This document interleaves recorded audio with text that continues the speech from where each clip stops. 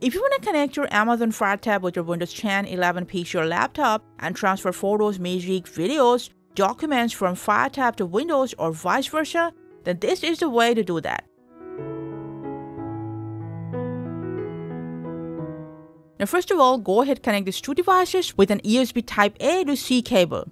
You can just go ahead use your Fire tab charging cable for this purpose. When the connection is successful, if you're getting any pop-up on your Fire tab, press OK. On your Fire tab, swipe down the screen and then tap on USB option.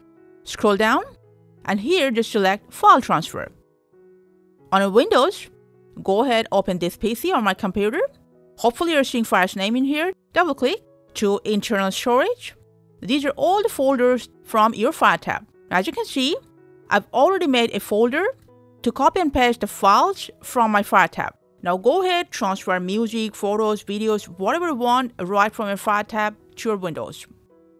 By the same process, you can copy paste or transfer any file or documents right from your Windows to your Fire tab. So that's how you can transfer files, documents, photos, music, or videos between your Fire tab and any Windows computer. Hope this video was helpful. Thank you for watching.